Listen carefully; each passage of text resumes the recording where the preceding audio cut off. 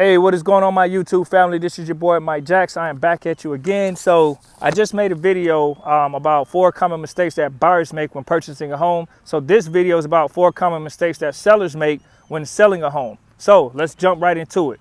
All right, so mistake number one. Uh, most people that are selling their homes, they do not hire a real estate agent. Now I know if you're watching this video and you've done that, like you're a for sale by owner, you're probably going to say, well, Mike, you're going to say that because you're a realtor. Well, no, that's not why I'm saying it. It is a very common mistake because um, a lot of people that do not have realtors, here's the reality. They don't have the tools, they don't have the access to the market and the tools that real estate agents have, right? So when you're selling your home, you not only uh, do you not have the tools, you're going to take on a lot more stress. You, uh, your negotiation is going to be a headache. And most of the time, you're not really getting the fair value of your home like you think you are. Because whatever a lot of people use, whether they use these websites or whatnot, a lot of those things are inaccurate compared to what real estate agents have. And when we do a comparative market analysis report, we can actually show you what your house is estimated to be worth way more accurate than everything else that you have. I mean, hey, we pay a lot of money to have these tools. That's the value that real estate agents bring. And here's a little quick secret. Realtors are free.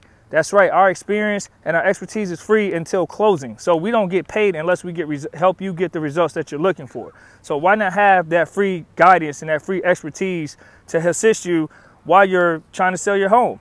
I mean, come on, it's a no-brainer. So number two, because people don't have a realtor, the second common mistake is they overprice their house and it sits on the market longer than they anticipated. And all of a sudden they humble themselves and say, hey, let me go get a real estate agent.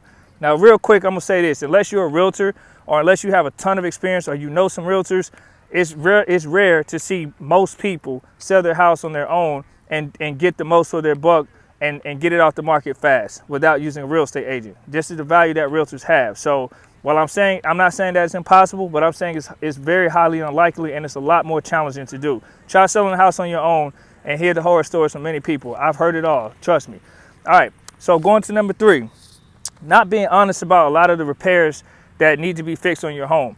So when you get a realtor, you're gonna have to fill out a seller's disclosure and you gotta disclose what's on the property. So if you don't be honest with your realtor from up front and let them know like, hey, I have a leak in the roof or the soffit on the roof is, you know, needs to be replaced or whatever the case may be, you got to be upfront because guess what? When a buyer has an inspection, those issues are going to come out. And if you didn't disclose that knowingly, they're going to, you know, that can lead to some a slippery slope. So you don't want to get into that. So make sure you're honest and um, and, and about everything because otherwise you're going to have to disclose it anyway. If an inspector comes out there, and then they, they, they have proof of that and someone backs out and you put it back on the market, then you're really going to have to put it out there anyway. So you're not going to run game, guys, thinking that I can just get around and hide these mistakes. It will come come out. What's in the dark will come to light.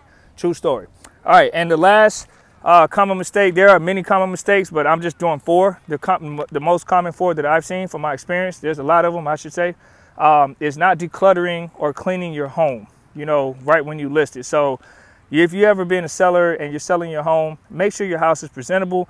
Make sure the colors on the uh, on the wall that you have that you love, it might not be someone else's flavor. So try to have a neutral color that you know is not to your liking, but something that everyone can say, okay, this is neutral. You know, that's the best bet. So make sure you clean your house. I know it sounds like common sense, but you'll be surprised how many people's version of clean.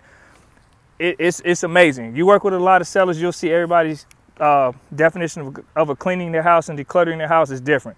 So make sure you have that house clean, okay? Because remember, people are coming to look at your home and how, you know, how you have it is how it looks. And that's the kind of responses you're gonna get. So make sure you have your house up to speed, you know, repair it as best as you can. Make sure there's not a lot of major issues. If you can, kind of know about your house and get with a realtor and then a realtor's expertise will be able to help you point in the right direction. So those are the four most common mistakes. If you have anything that you want me to go over and talk about in real estate, please put it in my comments below and I'll do my best to cover it. And uh, I'm glad you guys are tuning in and listening. I hope this helps somebody out there. All right, I hope you guys are having a blessed day. Take care. Many blessings.